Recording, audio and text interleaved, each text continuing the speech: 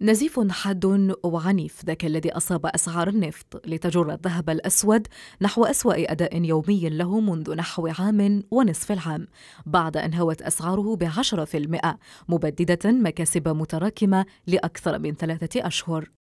معطيات رسمت خامس أسبوع من الخسارة المتتالية لأسعار الخام بفعل تهديدات عودة العالم للإغلاق العام وضعف الطلب. في أعقاب اكتشاف السلالة الجديدة في جنوب إفريقيا صنفتها منظمة الصحة العالمية ضمن خانة المقلقة انهيار حاد فقد عبره النفط أكثر من عشرة دولارات من قيمته في ظرف جلسة واحدة. توجت سلسلة جلسات أسبوع متقلب بفعل تدشين جو بايدن حربه ضد تحالف أوبك بلس حاولت خلالها أسعار الخام مقاومة ضخ كبار المستهلكين الملايين من براميل النفط من مخزوناتهم الاستراتيجية في السوق. بين الارتفاع تارة والتجاهل تارة أخرى.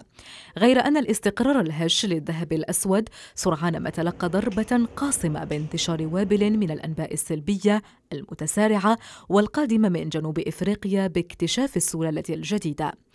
غموض وتضارب في التكهنات تضفي مزيدا من الضغط على أعضاء تحالف أوبك بلس المنتظر اجتماعهم الخميس المقبل. في لقاء يبقى مفتوحا على جميع الاحتمالات في ظل التهديدات الوبائية المتفاقمة.